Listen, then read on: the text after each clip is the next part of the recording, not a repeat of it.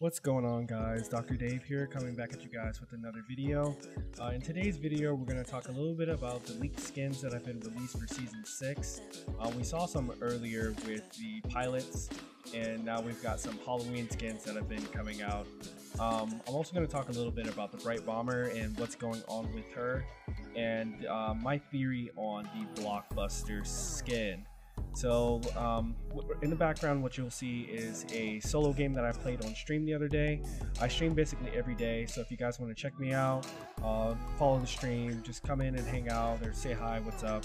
I'll be pretty awesome. Um, you can just I play with followers every day, and I probably play with my viewers too. So if you guys want to just stop by, the link will be in the description. So let's go ahead and dive right into this video. So in this video, we're going to see the two skins that have been released for the Halloween one. Uh, you're going to see the male skin, uh, who's called Hay Man, and the female skin, which is Straw Ops. Um, you'll see their glider, which is a scarecrow, it looks pretty sick. They're all going to be epic. Um, and they have a really nice pickaxe, which is like, um, almost looks like a scythe. Uh, but it's not really the scythe, which I really like because I didn't get to use the Skull Trooper. So, um, I didn't get to play during the time Skull Trooper was when, when it came out. I did have the option, but I decided to play PUBG instead. I was a pleb, so here I am, gonna try to get this scythe. I think it's pretty awesome.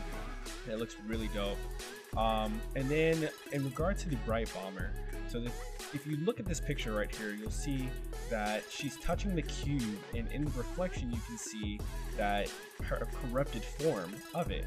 Now, with the cube, when it was on the map in season five, uh, everywhere it went, it left these corrupted areas on the map, and you can even see in the challenges, it tells you to visit corrupted areas.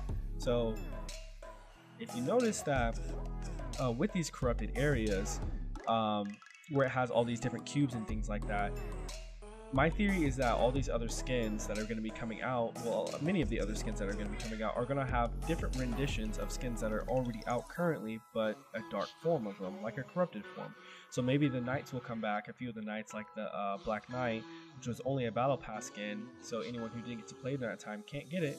Maybe it will come out again as a corrupted form or a dark, um, a dark form of it.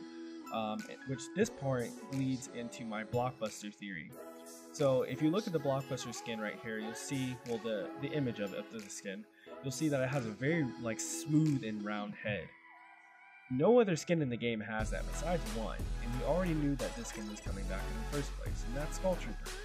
Um, but in my opinion, Skull Trooper's too much, too good of a skin to, to just bring back. They'll make a bunch of money off of it. Obviously, it's the most um, sought after skin in the game, but it almost isn't really fair to the people who had it prior to um, how big Fortnite has been now. Yes, it was a big game, but it wasn't near as big as it is now.